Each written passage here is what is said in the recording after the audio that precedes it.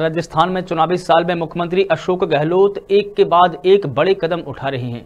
मुख्यमंत्री अशोक गहलोत ने विधानसभा में प्रदेश में 19 नए ज़िले और तीन नए संभाग बनाए जाने का ऐलान किया है। लंबे समय से प्रदेश के अलग अलग इलाकों से उठ रही मांग को उन्होंने पूरा कर दिया है। इसके साथ ही डींडबाड़ा को भी सीएम ने जिला घोषित किया है। विधानसभा के बजट सत्र में बोलते हुए मुख्यमंत्री अशोक गहलोत ने डींडबाना और कुचामन को संयुक्त रूप से नया जिला बनाने की घोषणा की है। इसी के साथ डींडबाड़ा का दशकों पुराना इंतज़ार भी खत्म हो गया है और इसके बाद डींडबाड़ा में लोगों ने खुशी ज़ाहिर की है।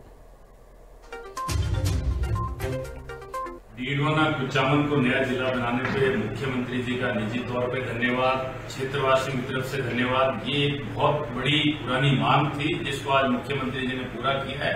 इससे लोगों को प्रशासनिक जो सुधार हमें चाहिए उसमें बड़ी भारी मदद मिलेगी। जो जिला बनाने की मांग चल रही थी हमारे स्थानीय विधायक हमारे लाडले विधायक चेतन जी डूडी के जो प्रयास थे उन्होंने अपनी चार साल की मेहनत करके डीडोना को जिला बना दिया।